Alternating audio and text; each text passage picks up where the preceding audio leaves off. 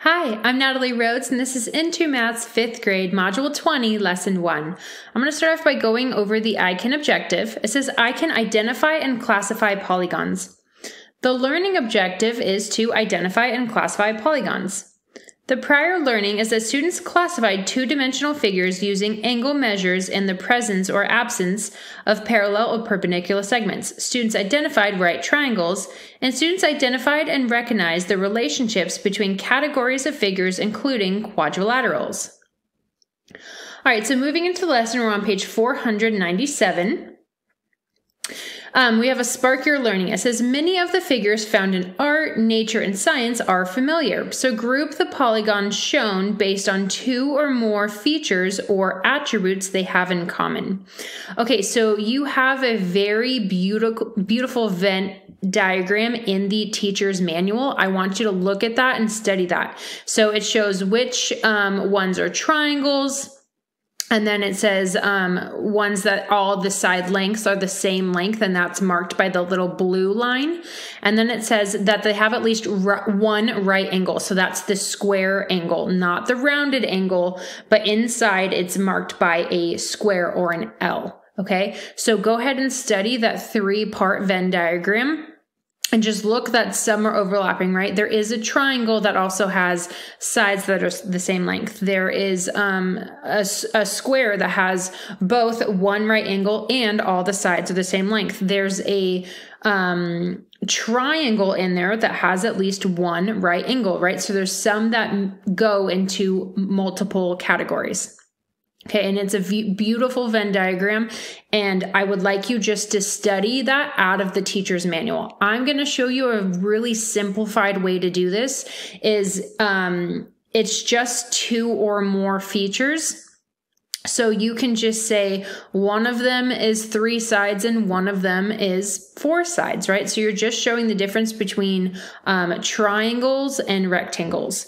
So three sides that is going to be all my different triangles. So I have a triangle that looks like this, one that looks like this, and one that looks like this. All right, then I have my four sides, and those are my squares. Oh, and I also have a triangle that looks like that. All right, then I have my rectangles. I have my square, just keep track. Then I have this quadrilateral, then I have my rectangle. Okay, then a different one was I have my six sides. Okay, and that is my hexagon over here. So that's my one with my six sides. All right, so that's two or more features. You can just do it by sides. You can do it by angles. You can do it by right angles. However you want to classify, you just want to see where the shapes are falling based on what category you create for it. All right, so let's go ahead and flip the page. Now, number one, build your understanding. It says Mr. Berger and his class are looking at the polygon shown. So for A, it said record the attributes of different polygons in the table. So complete the column for the figure that has four vertices. So this odd shape that's showing in the table, you already see that it has a number seven. So we want to know the name of a polygon with seven.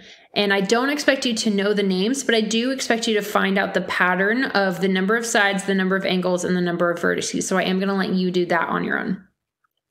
And then complete the column for the nonagon, and then draw two other polygons and complete the column. So I am going to do about half of this with you, and then I'm going to have you do the other half on your own. Okay, so the name of this polygon with seven sides is called a heptagon.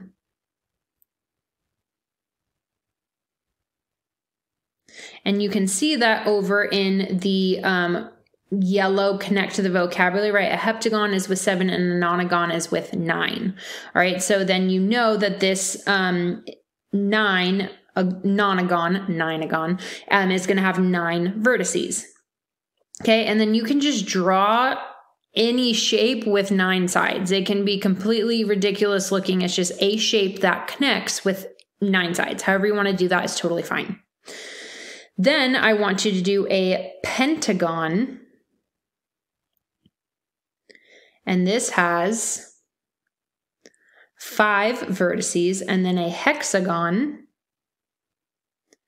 And this has six vertices. So I'm going to have you draw it. I'm going to have you figure out the number of sides and the number of angles on your own. Then I want you to try to find the pattern. What do you notice about the attributes or like um, the parts of each polygon? So what do you notice the pattern in the graph once you finish it? All right, so go ahead and I got you started. Go ahead and finish it from here and then come back together and we will solve it. Go ahead and hit pause here. All right, let's go ahead and finish this together. So for the heptagon, it does have seven vertices, which is showing one, two, three, four, five, six, seven. Then they want to know how many sides. Well, it shows one, two, three, four, five, six, seven. So it does have seven sides. And then for the angles on the inside, it would be one angle here, two, three, four, five, six, seven. So it also has seven angles. Okay, now for this nonagon, it can be wonky and I'll try to be as crazy with this as possible. Just so you show just so you know it doesn't have to be like more circular like the heptagon is showing. So I could go one, two, three, four, five, six, seven, eight, nine, right?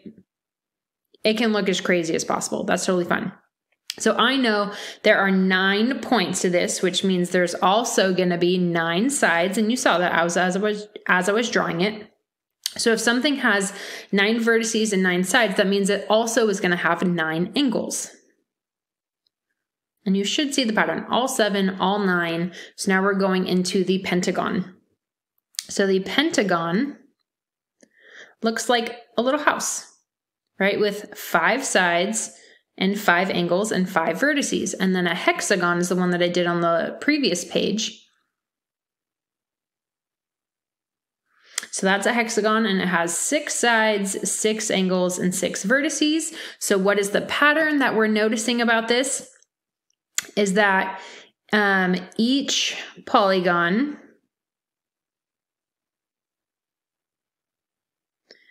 has matching